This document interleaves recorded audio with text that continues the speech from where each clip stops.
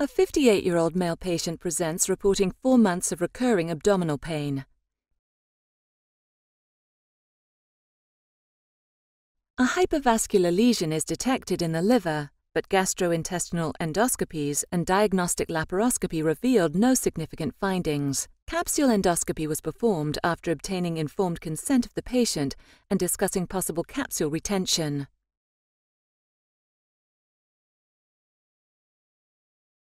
Retained secretions indicate a stenosis of the distal small bowel. Shortly thereafter, a tumor is visualized. The video sequence is repeated to outline the typical features of this small bowel tumor.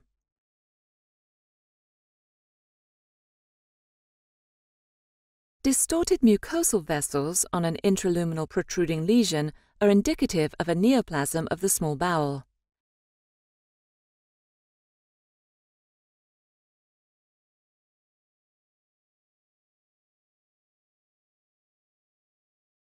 The capsule endoscope is retained before the tumor, bouncing back into the proximal small bowel and reveals normal mucosal surface.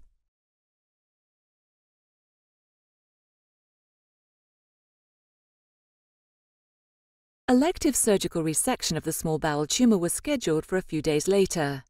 We refrained from doing balloon enteroscopy or any other diagnostic test because of the definitive capsule endoscopy findings. Capsule retrieval did not seem necessary.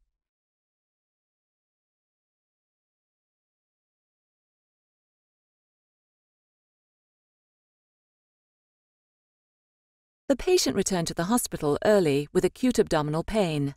Plain abdominal x-ray was performed.